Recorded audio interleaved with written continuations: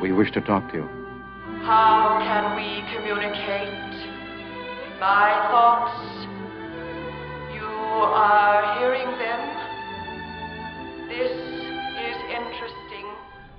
Sometimes the future isn't as far away as we think. Good morning. It's nice to see you again.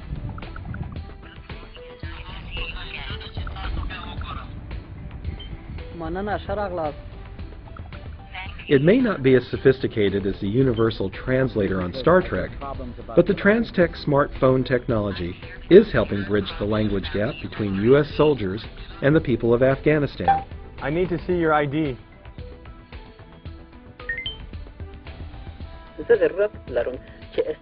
Smartphones using the latest generation of two-way, real-time voice translation technology convert English into the Afghan language of Pashto, and Pashto back into English. I need to take a look in the back.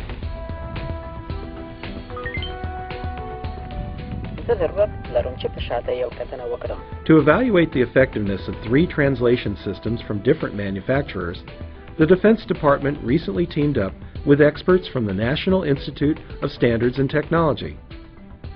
The NIST engineers put the translation devices through a rugged series of tests, 25 different situations that might be encountered by troops in Afghanistan. Testing involved both English and Pashto speakers. The scenarios included vehicle checks and building inspections.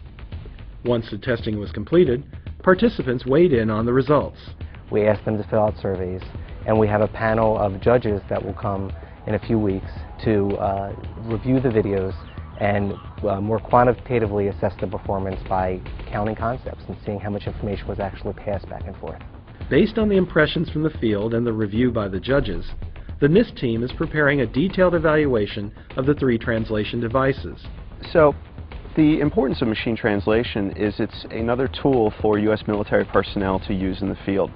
Uh, unfortunately, there are a shortage of interpreters, a shortage of very reliable interpreters. And machine translation offers a unique tool in the sense that machines don't get tired, people do. With NIST and DARPA teaming up to advance the translation technology of today, perhaps we won't have to wait 300 years for the vision of Star Trek to become reality. It simply translates its findings into English. You mean it speaks? With the voice or the approximation of whatever the creature is on the sending end. Not 100% efficient, of course, but nothing ever is. Ready, Mr. Spock? Quite ready, Captain.